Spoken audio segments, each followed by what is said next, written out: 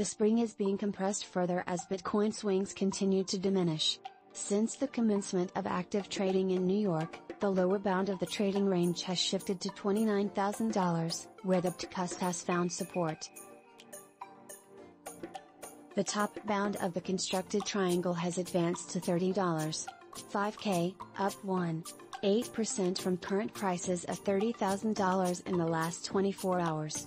As range adherence continued, Bitcoin, BTC, momentarily returned to $30,000 before the May 25 Wall Street Open.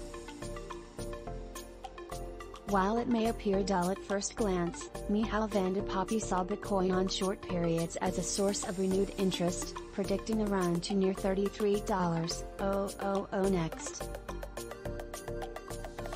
He told his Twitter followers, Bitcoin broke through $29. 4K and ran towards the next resistance zone. If we hold $29. 4K, we'll be good towards $32. 8K.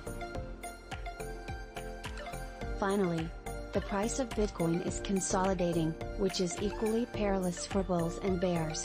Both gain liquidity and become accustomed to existing prices over time. On a market cycle level, there's a good likelihood that the present consolidation will end with a collapse of the lower boundary and the liquidation of stop orders, confirming the initial downside momentum. Related reading Institutional investors seek safe haven in crypto products amid market uncertainty.